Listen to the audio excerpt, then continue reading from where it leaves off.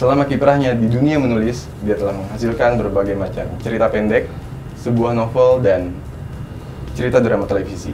Di tahun 2013, novelnya yang berjudul Pulang meraih penghargaan prosa terbaik pada Khatulistiwa Literary Award. Tahun ini, kumpulan ceritanya yang berjudul Nadira diterbitkan kembali dengan dua cerita terbaru. Dan kita akan langsung ngobrol saja bersama penulisnya, Leila Esfudori. Halo Mbak Leila. Halo. Mbak Leila kita akan ngobrol tentang uh, buku Nadira, uh, sebuah kumpulan cerita ya. Ya. Oke, bisa jelaskan nggak Nadira ini bercerita tentang apa sih secara luas? Hmm. Uh, Nadira ini kan sebetulnya kumpulan cerita hmm. uh, dengan tokoh yang sama. Oke. Jadi ketika dikumpulkan menjadi satu buku makanya ada perdebatan di antara orang yang membaca dari pengamat bahwa ini sebetulnya novel atau kumpulan cerpen gitu loh. Uh, buat saya sebagai penulisnya ini sebetulnya kumpulan cerita karena prosesnya pun juga saya menambah terus gitu. Hmm.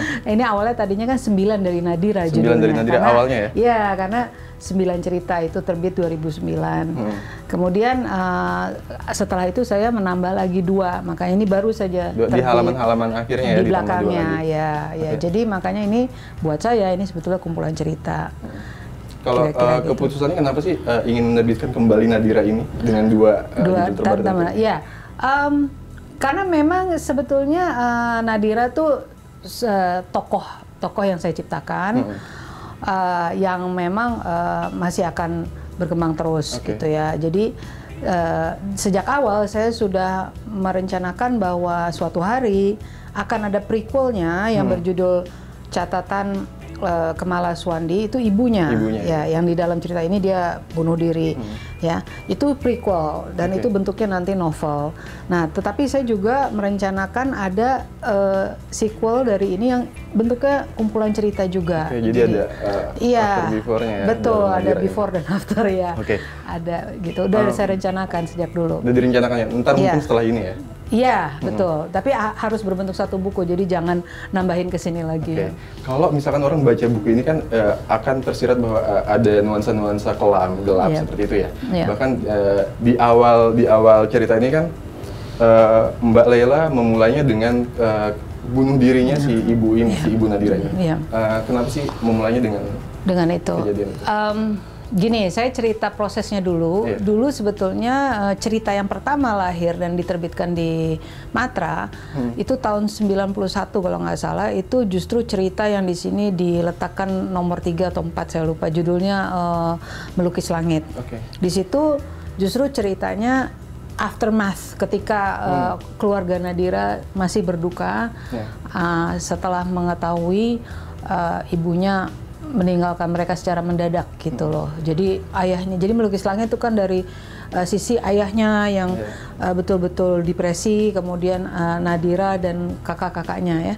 Nah, um, di situ tuh sebetulnya uh, penjelasan bahwa ibu ibu mereka atau bunuh diri itu hanya uh, ada di dalam dua kalimat aja. Okay, ya, dua ya kalimat. hanya dua kalimat. Hmm. Itu itu cerita pertama yang lahir tahun 91. Okay. Kemudian uh, cerita berikutnya adalah Nina Nina dan Nadira itu juga hubungan antara Nadira dan kakaknya yang juga sebenarnya banyak uh, apa dinamika gitu ya. Uh, yang yang uh, juga dimuatnya sekitar 92 kalau nggak salah di di Matra. Tapi setelah itu saya lama nggak nulis hmm. gitu. Saya sibuk dengan tempo, saya berkeluarga. Jadi uh, memang saya memilih untuk konsentrasi kepada uh, uh, uh, dunia saya, dunia jurnalistik. Jadi setelah uh, tahun 90 berapa ya saya mulai lagi nulis. Lagi. Ya, itu baru saya uh, muat di Horizon dan sebagainya itu yang sisa-sisanya ini. Okay. Nah, uh, tapi ketika saya menyusun kembali, saya menyusunnya agak kronologis. Jadi hmm. saya memulainya dengan uh, ya dengan uh, apa mencari seikat seruni ketika anak-anaknya dan suaminya menemukan ibunya uh, bunuh diri. diri. Jadi uh, saya memilih untuk uh, menyusunnya secara kronologis gitu. Tapi sebenarnya penciptaannya saya mulainya dari tengah gitu loh. Dari tengah dulu ya, ya, ya. ya. Uh, yang menarik dalam buku Nadira ini kan sebenarnya ada present day dan uh, ada waktu-waktu terdahulu dan dan yeah. ada uh, apa namanya letak geografis yang berbeda. Hmm. Ada settingnya di beberapa kota di Indonesia, di New York, di Paris hmm. dan lain sebagainya. Hmm. uh, itu gaya penulisannya Laila Hudori untuk Nadira uh, yang seperti ini.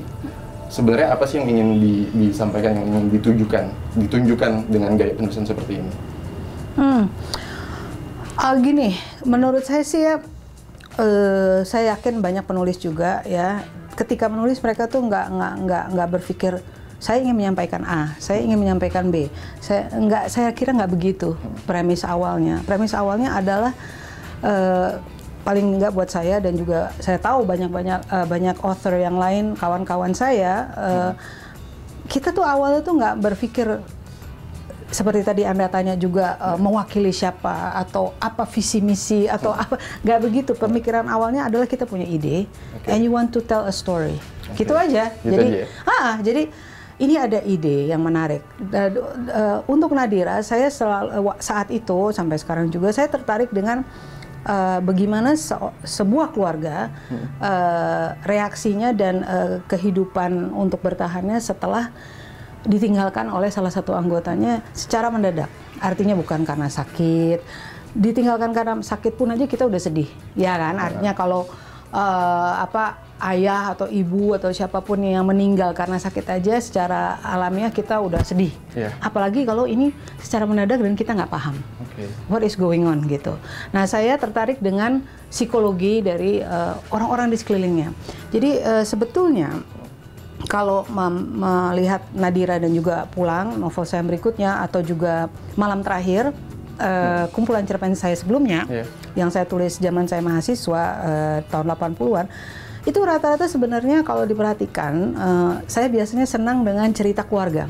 Hmm. Jadi dinamika dalam keluarga, adik, kakak, ibu, anak, ayah, hmm. anak, gitu loh. Itu yang itu yang menarik itu buat yang menarik ya? buat saya, ya. Jadi saya tertarik dengan cerita keluarga. Okay. Jadi saya nggak nggak mikirin bahwa ini apa ya visinya okay. apa enggak. Saya mikirnya bahwa Uh, telling a story about a family itu buat saya itu selalu uh, apa namanya menarik. Hmm. Nah, tapi keluarganya memang bukan keluarga yang uh, kalau kalau istilah orang tuh kalau baca cerita-cerita saya bukan keluarga yang yang yang biasa-biasa aja gitu hmm. loh. Yang yang 9 to 5 happy happy go lucky. So kalau happy go ya udah yeah. apa ceritanya Dunia gitu kan. Gitu. Ah, jadi kalau ini uh, ibunya ya, jadi ada soal psikologi di keluarganya. Kalau pulang itu kan soal ada background tapol hmm. ya kan dan uh, keluarga eksil. Kan hmm. artinya kehidupan mereka beda sekali dengan yeah. keluarga yang biasa yang kita temui gitu. Yeah. Di malam terakhir lain lagi gitu loh. Jadi it's a family story. Biasanya saya selalu tertarik bercerita a family story gitu.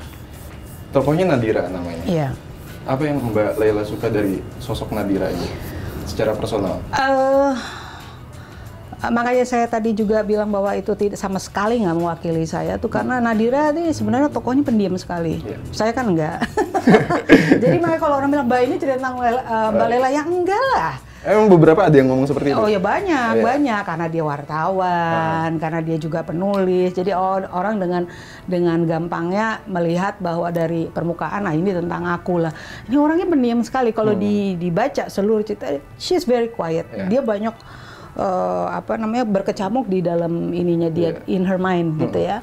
Saya kan orang senang ngobrol gitu hmm. loh. Jadi uh, saya senang gitu menciptakan sesuatu yang uh, satu belakang. ya bertolak belakang hmm. atau satu uh, karakter yang yang ingin saya gali gitu. Ini kalau orang pendiam tuh dia di dalam otaknya ngapain aja sih gitu ya. Ah, ah gitu. Jadi uh, saya suka itu. She is very quiet and uh, dia lebih internalize gitu apa apa dia internalize tapi once kalau dia lagi uh, emosional marah dia bisa betul-betul uh, keluar keluar uh, hmm. jadi biasanya nih uh, di dalam bayang saya juga ngobrol sama banyak dengan teman-teman psikolog orang yang seperti ini gitu yang begitu marah dan memendam hmm. sekali sakingnya karena dia tidak mengeluarkan emosinya sekalinya kalau dia udah kesel banget Meledak. bisa iya seperti yang terjadi sama uh, narasumbernya dia yang dia dia dia pukul kan gitu. Okay. Jadi uh, saya tertarik sama psikologinya dia gitu loh. Seperti itu ya. Mm -mm. Kalau kesiapan menulisnya uh, untuk Mbak Laila itu seperti apa sih? Sama nggak sih dengan yang lainnya? Misalkan uh, ketika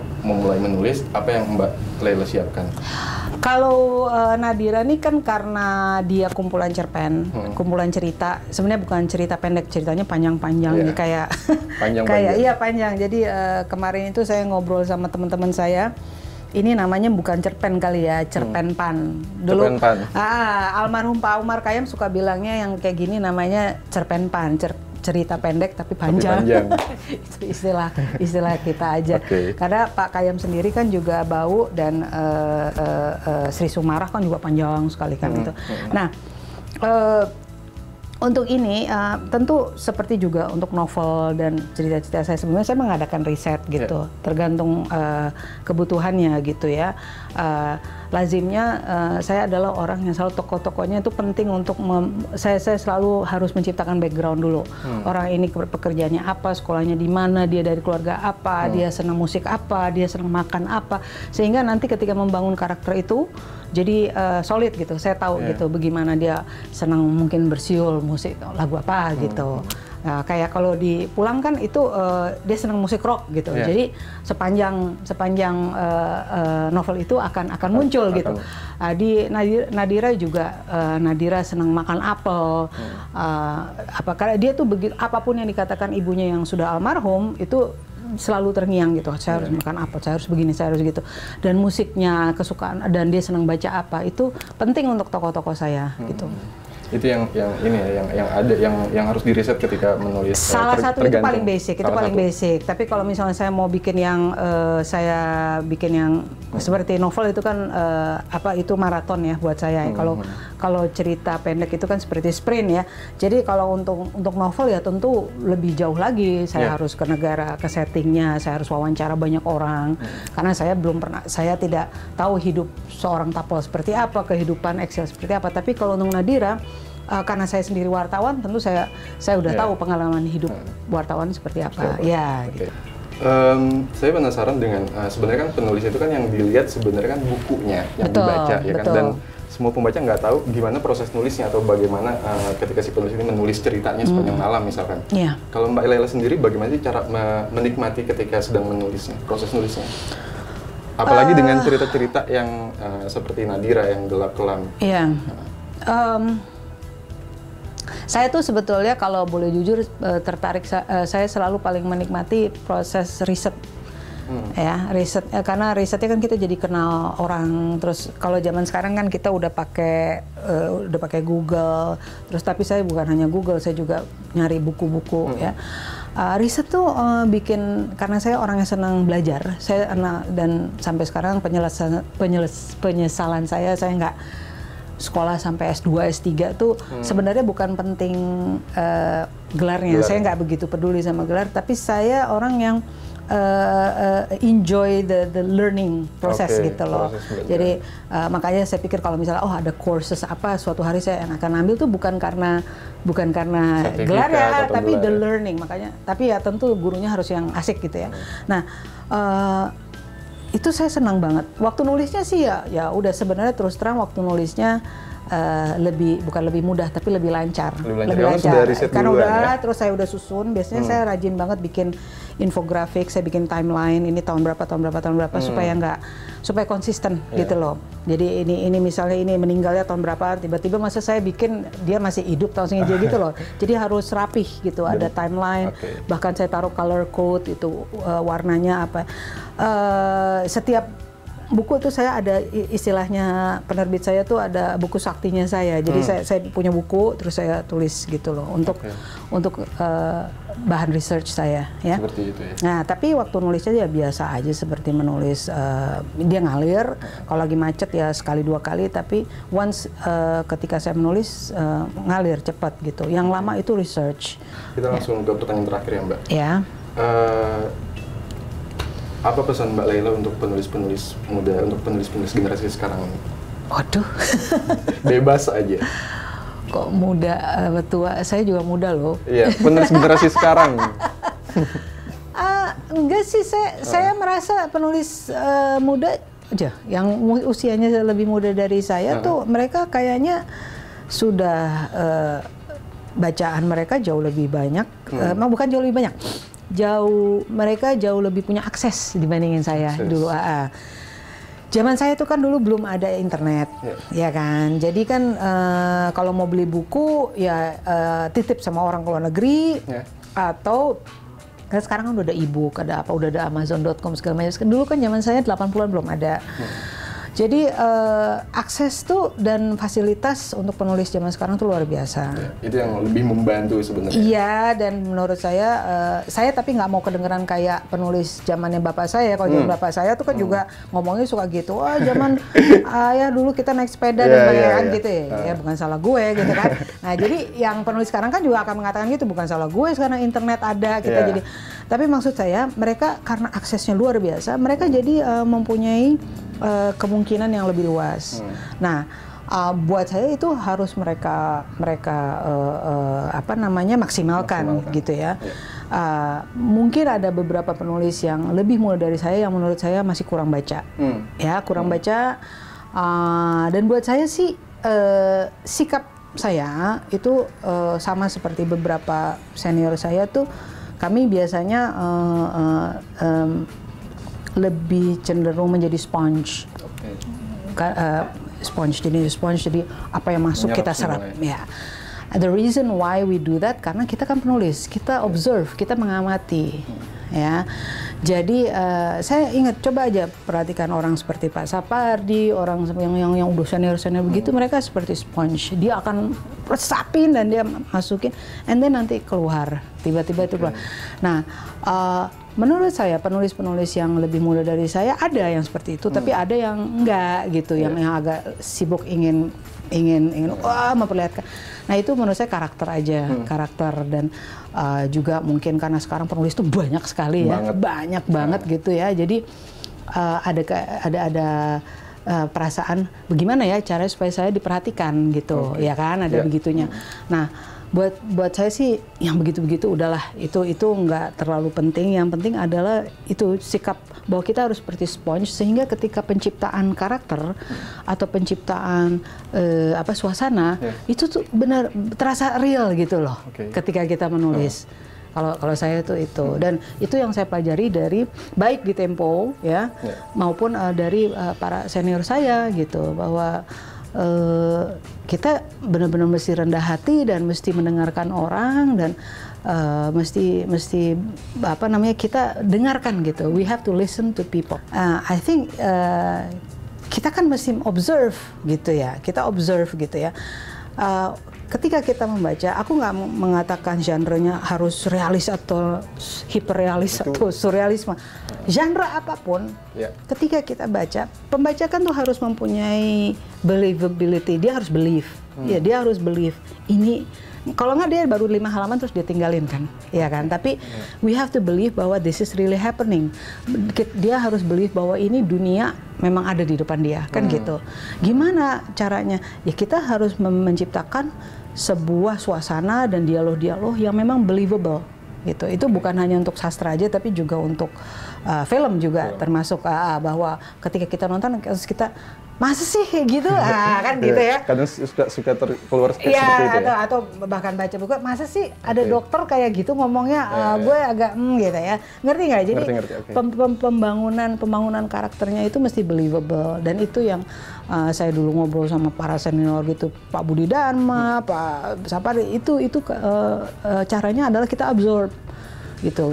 Kita ngelihat dokter cara ngomongnya gimana? Kita ngelihat wartawan gimana? Tukang ojek kayak apa? atau yang muncul nggak dibuat-buat? Ya nggak. Uh, uh, kira-kira begitu. Laila itu pesan yang sangat menarik banget sangat bermanfaat. Terima kasih uh, udah datang ke Writer Corner. Mm -hmm. sukses untuk Nadira dan mm. sehat selalu ya mbak. Terima kasih. Okay. ya, itu tadi obrolan kita bareng Laila Escuderi uh, jangan lupa untuk mengikuti kuis yang ada di bawah ini pertanyaannya untuk mendapatkan buku serta tanda tangan Mbak Lela. Sampai jumpa di Writer Corner Alinea TV berikutnya. Terima kasih.